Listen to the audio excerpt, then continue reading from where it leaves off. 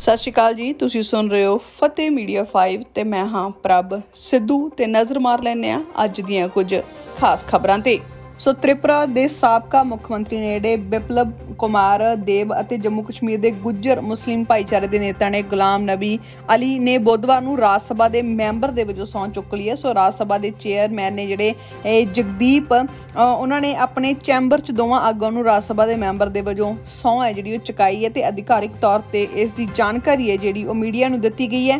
ਸੋ ਦੱਸ ਦੇਈ ਕਿ ਦੇਵ ਨੇ ਜਿਹੜੇ ਉਹ ਹਾਲ ਹੀ 'ਚ ਤ੍ਰਿਪੁਰਾ ਤੋਂ ਰਾਜ ਸਭਾ ਦੀ ਜਿਮਨੀ ਚੋਣ ਲੜੇ ਸੀ, ਜਦਕਿ ਜਿਹੜੇ ਗੁਲਾਮ ਅਲੀ ਨੇ ਨੂੰ ਉੱਪਰਲੇ ਸਦਨ ਲਈ ਜਿਹੜਾ ਨਾਮਜ਼ਦ ਹੈ ਉਹ ਕੀਤਾ ਗਿਆ। ਉਧਰ ਦਿੱਲੀ ਦੀ ਇੱਕ ਅਦਾਲਤ ਨੇ ਬੁੱਧਵਾਰ ਨੂੰ ਰਾਸ਼ਟਰੀ ਜਨਤਾ ਦਲ ਦੇ ਜਿਹੜੇ ਪ੍ਰਧਾਨ ਨੇ ਲਾਲੂ ਪ੍ਰਸਾਦ ਦੇ ਇਲਾਜ ਲਈ ਉਹਨਾਂ ਨੂੰ ਸਿੰਗਾਪੁਰ ਜਾਣ ਦੀ ਇਜਾਜ਼ਤ ਹੈ, ਜਿਹੜੀ ਉਹ ਦੇ ਦਿੱਤੀ ਹੈ। ਸੋ ਵਿਸ਼ੇਸ਼ ਜੱਜ ਨੇ ਜਿਹੜੇ ਉਹਨਾਂ ਨੇ 10 ਅਕਤੂਬਰ ਤੋਂ 25 ਅਕਤੂਬਰ ਤੱਕ ਵਿਦੇਸ਼ ਯਾਤਰਾ ਦੀ ਜਿਹੜੀ ਮਨਜ਼ੂਰੀ ਹੈ, ਉਹ ਦਿੱਤੀ ਹੈ। ਰਾਂਚੀ ਦੀ ਇੱਕ ਵਿਸ਼ੇਸ਼ ਸੀਬੀਆਈ ਅਦਾਲਤ ਨੇ 16 ਸਤੰਬਰ ਨੂੰ ਪ੍ਰਸਾਦ ਨੂੰ ਉਹਨਾਂ ਦਾ ਪਾਸਪੋਰਟ ਵਾਪਸ ਕਰਨ ਦੀ ਪਟੀਸ਼ਨ ਸਵੀਕਾਰ ਕੀਤੀ ਸੀ, ਜਿਸ ਤੋਂ ਬਾਅਦ ਉਹਨਾਂ ਨੂੰ ਹੁਣ ਸਿੰਗਾਪੁਰ ਹੈ ਜਿਹੜਾ ਉਹ ਲੈ ਕੇ ਜਾਇਆ ਜਾਵੇਗਾ। ਉਧਰ ਪ੍ਰਧਾਨ ਮੰਤਰੀ ਨਰਿੰਦਰ ਮੋਦੀ ਨੇ ਬੁੱਧਵਾਰ ਨੂੰ ਸੁਤੰਤਰਤਾ ਸੈਨਾਨੀ ਨੇੜੇ ਸ਼ਹੀਦ ਭਗਤ ਸਿੰਘ ਦੀ ਜਯੰਤੀ ਤੇ ਉਹਨਾਂ ਨੂੰ ਸ਼ਰਧਾਂਜਲੀ ਭੇਂਟ ਕੀਤੀ ਹੈ। ਸੋ ਪ੍ਰਧਾਨ ਮੰਤਰੀ ਨੇ ਟਵੀਟ ਕਰਕੇ ਕਿਹਾ ਕਿ ਸ਼ਹੀਦ ਭਗਤ ਸਿੰਘ ਦੀ ਜਯੰਤੀ ਤੇ ਮੈਂ ਉਹਨਾਂ ਨੂੰ ਨਮਨ ਕਰਦਾ, ਉਹਨਾਂ ਦੀ ਹਿੰਮਤ ਸਾਨੂੰ ਬਹੁਤ ਪ੍ਰੇਰਿਤ ਕਰਦੀ ਹੈ ਤੇ ਉਹਨਾਂ ਦੇ ਦ੍ਰਿਸ਼ਟੀਕੋਣ ਨੂੰ ਅਸੀਂ ਸਾਕਾਰ ਕਰਨ ਲਈ ਵਚਨਬੱਧਤਾ ਦੁਹਰਾਉਂਦੇ ਹਾਂ। ਸੋ ਇਸ ਤੋਂ ਪਹਿਲਾਂ ਉਹਨਾਂ ਦੇ ਵੱਲੋਂ ਜਿਹੜੇ ਚੰਡੀਗੜ੍ਹ ਹਵਾਈ ਅੱਡੇ ਦਾ ਨਾਮ ਸ਼ਹੀਦ ਭਗਤ ਸਿੰਘ ਤੇ ਨਾਂ ਤੇ ਵੀ ਰੱਖਣ ਦਾ ਐਲਾਨ ਹੈ, ਜਿਹੜਾ ਉਹ ਕੀਤਾ ਗਿਆ ਸੀ। ਸੁਪਰੀਮ ਕੋਰਟ ਨੇ ਬੁੱਧਵਾਰ ਨੂੰ ਕੇਂਦਰ ਸਰਕਾਰ ਨੂੰ ਕਿਹਾ ਕਿ ਉਹ ਪੰਜਾਬ ਦੇ ਜਿਹੜੇ ਸਾਬਕਾ ਮੁੱਖ ਮੰਤਰੀ ਬੇਅੰਤ ਸਿੰਘ ਦੇ ਕਤਲ ਮਾਮਲੇ 'ਚ ਮੌਤ ਦੀ ਸਜ਼ਾ ਕੱਟ ਰਹੇ ਬਲਵੰਤ ਸਿੰਘ ਰਾਜਵਾਨਾ ਦੀ ਸਜ਼ਾ ਘੱਟ ਕਰਨ ਦੀ ਅਰਜ਼ੀ ਤੇ ਜਲਦ ਫੈਸਲਾ ਲਵੇ। ਸੁਪਰੀਮ ਕੋਰਟ ਨੇ ਕਿਹਾ ਕਿ 2 ਮਈ ਦੇ ਆਦੇਸ਼ ਦੇ ਅਨੁਸਾਰ ਫੈਸਲਾ ਲੈਣ ਲਈ 2 ਮਹੀਨੇ ਦੀ ਦਿੱਤੀ ਗਈ ਸਮੇਂ ਹੱਦ ਹੈ ਜਿਹੜੀ ਉਹ ਪਹਿਲਾਂ ਹੀ ਖਤਮ ਹੋ ਚੁੱਕੀ ਹੈ। ਤੁਸੀਂ ਕੁਝ ਵੀ ਫੈਸਲਾ ਲਵੋ, ਪਰ ਤੁਹਾਨੂੰ ਫੈਸਲਾ ਜਿਹੜਾ ਉਹ ਲੈਣਾ ਹੀ ਪਵੇਗਾ। ਸੋ ਇੱਕ ਵਾਰ ਫਿਰ ਤੋਂ ਕੇਂਦਰ ਸਰਕਾਰ ਨੂੰ ਝਿੜਕਦੀ ਸੁਪਰੀਮ ਕੋਰਟ ਨਜ਼ਰ ਆਈ ਹੈ। ਸੋ ਹਲਫਨਾਮਾ ਦਾਖਲ ਕਰਕੇ ਕੋਰਟ ਨੇ ਇਹ ਵੀ ਦੱਸਣ ਲਈ ਕਿਹਾ ਕਿ ਇਸ ਬਾਰੇ ਕਿੰਨੀ ਪ੍ਰਗਤੀ ਹੈ ਜਿਹੜੀ ਉਹ ਹੋਈ ਹੈ? ਉਧਰ ਸ਼ਹੀਦ ਭਗਤ ਸਿੰਘ ਦੇ ਜਨਮ ਦਿਹਾੜੇ ਨੂੰ ਮੁੱਖ ਰੱਖਦਿਆਂ ਚੰਡੀਗੜ੍ਹ ਹਵਾਈ ਅੱਡੇ ਦਾ ਨਾਮ ਹੈ ਜਿਹੜਾ ਉਹ ਅੱਜ ਬਦਲ ਕੇ ਸ਼ਹੀਦ ਭਗਤ ਸਿੰਘ ਕੌਮਾਂਤਰੀ ਹਵਾਈ ਅੱਡਾ ਰੱਖ ਦਿੱਤਾ ਗਿਆ ਇਸ ਮੌਕੇ ਇਸ ਸਮਾਗਮ ਦੇ ਵਿੱਚ ਵਿੱਤ ਮੰਤਰੀ ਨੇ ਜਿਹੜੇ ਨਿਰਮਲਾ ਨਿਰਮਲਾ ਸੀਤਾਰਮਨ ਉਹ ਪਹੁੰਚੇ ਸਨ। ਸੋ ਚੰਡੀਗੜ੍ਹ ਹਵਾਈ ਅੱਡੇ ਤੇ ਨਵੇਂ ਨਾਮ ਦਾ ਉਦਘਾਟਨ ਕੀਤਾ ਗਿਆ। ਸਮੂਹ ਪੰਜਾਬੀਆਂ ਨੂੰ ਵਧਾਈ ਦਿੱਤੀ ਗਈ। ਇਸ ਮੌਕੇ ਦੇ ਮੁੱਖ ਮੰਤਰੀ ਨੇ ਭਗਵੰਤ ਮਾਨ, ਉਹ ਵੀ ਮੌਜੂਦ ਸਨ। ਉਹਨਾਂ ਕਿਹਾ ਕਿ ਇੱਕ ਵੱਡਾ ਦਿਨ ਅੱਜ ਪੰਜਾਬ ਤੇ ਪੰਜਾਬੀਆਂ ਦੇ ਲਈ ਹੈ। ਸੋ ਉਹਨਾਂ ਨੇ ਇਸ ਮੌਕੇ ਭਗਤ ਸਿੰਘ ਤੇ ਉਹਨਾਂ ਵੱਲੋਂ ਜੋ ਵੀ ਸੇਵਾਵਾਂ ਦੇਸ਼ ਲਈ ਦਿੱਤੀਆਂ ਗਈਆਂ ਨੇ, ਉਸ ਨੂੰ ਯਾਦ ਕੀਤਾ। ਉਧਰ ਸ਼ਹੀਦ ਆਜ਼ਮ ਦੇ ਭਗਤ ਸਿੰਘ ਦੇ ਜਨਮ ਦਿਨ ਮੌਕੇ ਅੱਜ ਜਿਹੜੇ ਮੁੱਖ ਮੰਤਰੀ ਨੇ ਉਹ ਖਟਕੜ ਕਲਾਂ ਵੀ ਪਹੁੰਚੇ। ਉਹਨਾਂ ਨੇ ਸ਼ਹੀਦਾਂ ਨੂੰ ਯਾਦ ਕੀਤਾ ਤੇ ਉਹਨਾਂ ਨੂੰ ਸ਼ਰਧਾਂਜਲੀ ਭੇਟ ਹੈ ਜਿਹੜੀ ਉਹ ਕੀਤੀ।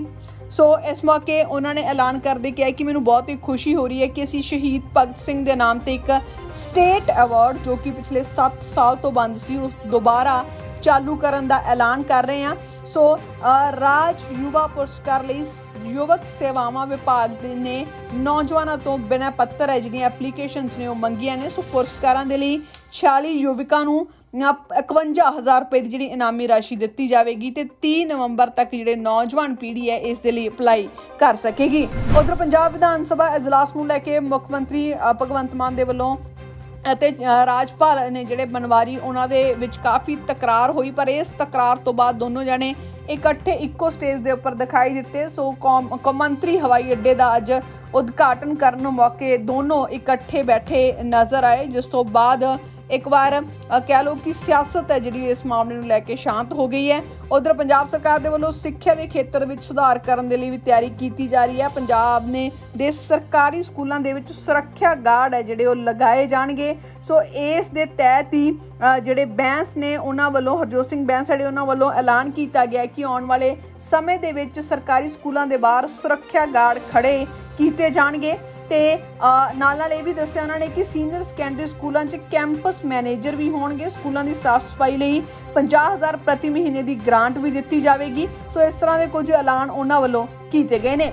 ਉਧਰ ਭਗਵੰਤ ਮਾਨ ਦੇ ਵੱਲੋਂ ਜਿਹੜੇ ਸਾਬਕਾ ਮੁੱਖ ਮੰਤਰੀ ਨੇ ਚਰਨਜੀਤ ਚੰਨੀ, ਉਹਨਾਂ ਦੇ ਉੱਪਰ ਵਿਧਾਨ ਸਭਾ ਇਜਲਾਸ ਦੇ ਦੌਰਾਨ ਪਹਿਲੇ ਦਿਨ ਹੀ ਹਮਲਾ ਕੀਤਾ ਗਿਆ ਸੀ ਕਿ ਆਖਿਰ ਜਿਹੜੇ ਚੰਨੀ ਨੇ, ਉਹ ਸਾਡੀ ਸਰਕਾਰ ਦੇ ਨਾਲ ਮਿਲ ਕੇ ਕੰਮ ਨਹੀਂ ਕਰ ਰਹੇ। ਕੁਝ ਫਾਈਲਾਂ ਦੇ ਜਾਂ ਬਹੁਤ ਸਾਰੀਆਂ ਅਜਿਹੀਆਂ ਚੀਜ਼ਾਂ ਨੇ ਜਿਨ੍ਹਾਂ ਦੇ ਜਵਾਬ ਸਰਕਾਰ ਨੂੰ ਚਾਹੀਦੇ ਨੇ, ਪਰ ਚੰਨੀ ਉਹਨਾਂ ਦੇ ਜਵਾਬ ਨਹੀਂ ਦੇ ਰਹੇ। ਸੋ ਇਸ ਮਾਮਲੇ ਦੇ ਉੱਪਰ ਚੰਨੀ ਦਾ ਕਹਿਣਾ ਹੈ ਕਿ ਉਹਨਾਂ ਨੇ ਆਪਣੇ ਸਪਸ਼ਟੀਕਰਨ ਦਿੱਤੇ, ਦਿੰਦੇ ਹੋਏ ਕਿਹਾ ਕਿ ਮੈਂ ਜਿੰਨਾ ਸਮਾਂ ਵੀ ਪੰਜਾਬ ਦੇ ਲਈ ਕੰਮ ਕੀਤਾ, ਲੋਕ ਹਿੱਤਾਂ ਦੇ ਲਈ ਕੰਮ ਕੀਤਾ ਹੈ 150 ਤੋਂ ਵੱਧ ਫਾਈਲਾਂ ਤੇ ਦਸਤਖਤ ਕੀਤੇ ਨੇ, ਉਹਨਾਂ ਦੱਸਿਆ ਕਿ ਮੈਂ ਕਿਸੇ ਵੀ ਚੀਜ਼ ਤੋਂ ਭੱਜ ਨਹੀਂ ਰਿਹਾ, ਤੁਸੀਂ ਮੇਰੇ ਨਾਲ ਕਿਸੇ ਵੀ ਸਮੇਂ ਸੰਪਰਕ ਕਰ ਸਕਦੇ ਹੋ। ਮੈਂ ਆਪਣੀ ਡੀ ਕੰਪਲੀਟ ਕਰਨ ਦੇ ਸਬੰਧ ਦੇ ਵਿੱਚ ਥੀਸਿਸ ਕੰਪਲੀਟ ਕਰਨ ਦੇ ਸਬੰਧ ਵਿੱਚ ਥੋੜਾ ਬਿਜ਼ੀ ਚੱਲ ਰਿਹਾ, ਪਰ ਹਮੇਸ਼ਾ ਸਰਕਾਰ ਦਾ ਸਮਰਥਨ ਕਰਨ ਦੇ ਲਈ ਜਾਂ ਸਰਕਾਰ ਨੂੰ ਕਿਸੇ ਵੀ ਤਰੀਕੇ ਦੀ ਜ਼ਰੂਰਤ ਹੈ, ਮੈਂ ਹਮੇਸ਼ਾ ਨਾਲ ਖੜਾ